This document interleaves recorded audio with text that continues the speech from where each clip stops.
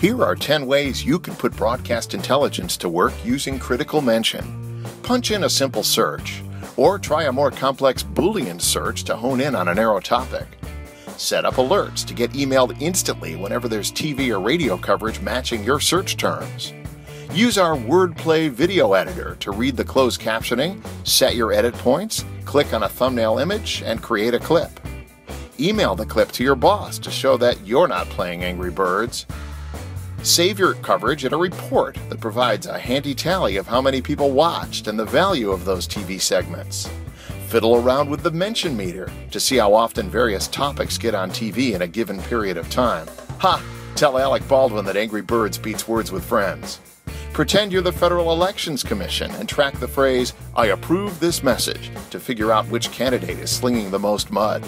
Or just check in with the Critical Mention account management team using live chat, email, or even the phone. So that's it 10 quick tips in 60 seconds using Critical Mention.